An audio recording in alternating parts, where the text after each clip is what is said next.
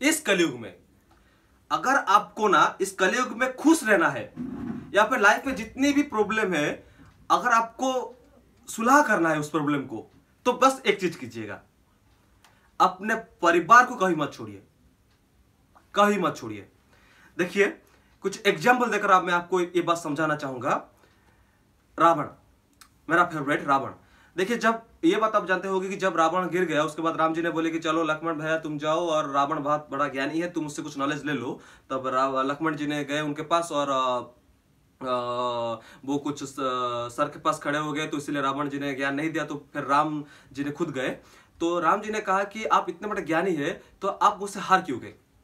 तो रावण जी ने एक बहुत अच्छी बात वहाँ पर कही राम जी को कि अगर तुम इसीलिए जीत गए क्योंकि तुम्हारा भाई आज तुम्हारे सपोर्ट में खड़ा हुआ है।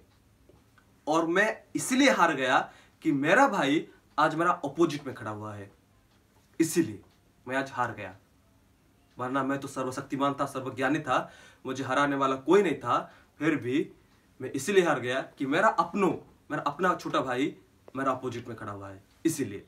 वो छोड़े, वो तो पुराने की बात है, लेकिन आप अगर इस मॉडर्न जमाने में अगर आप देखेंगे अगर आप आ, कुछ अपने बड़े बड़े स्टार की अगर बड़े बड़े सक्सेसफुल इंसान की अगर आप आ, देखेंगे उनकी लाइफस्टाइल तो एक चीज़ कॉमन है कि वो ना अपने परिवार या फिर जिनके बदौलत वो सक्सेस हुए हैं या फिर जिनके सपोर्ट में वो सक्सेसफुल हुए हैं वो कभी उनको नहीं छोड़ते। जैसे कि मैं दो एग्ज़ाम्पल दूँगा।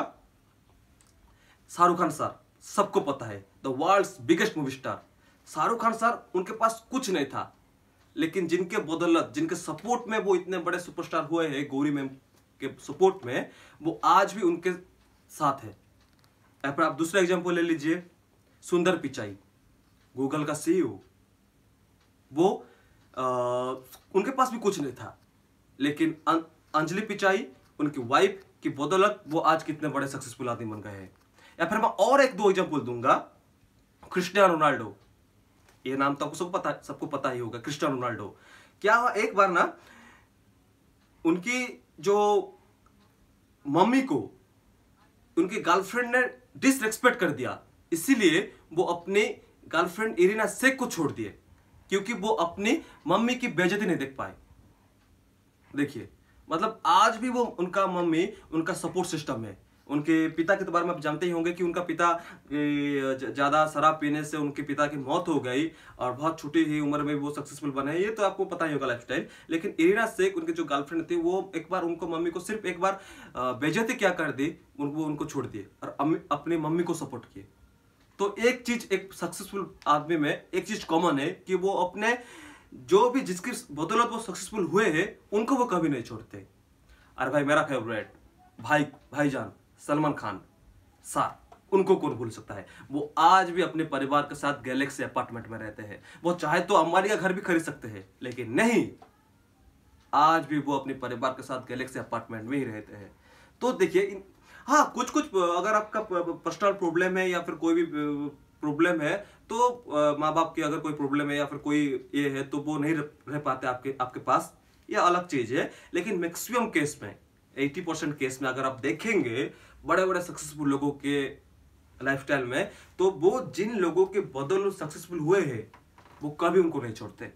हमेशा उनको अपने पास ही रखते हैं, या फिर खुद वो अपने उनके पास रहते हैं। तो इसीलिए वो हमेशा सक्सेसफुल हुए हैं, और जो भी बड़ा प्रॉब्लम आया है, वो उसको सॉल्व किए हैं।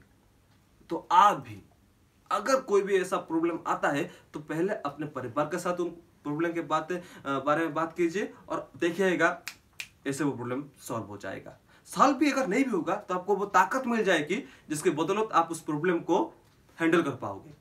इसीलिए कभी भी अगर आप सक्सेसफुल बनना कोई बड़ी बड़ी बात नहीं है, फिर भी अगर आप सक्सेसफुल बन जा बन जाते हो तो भी जिन जिन लोगों के बदौलत आप सक्सेसफुल हुए हैं, या फिर आपके सक्सेसफुल होने में जिन जिन का हाथ है, उनको कभी मत छोड़िएगा।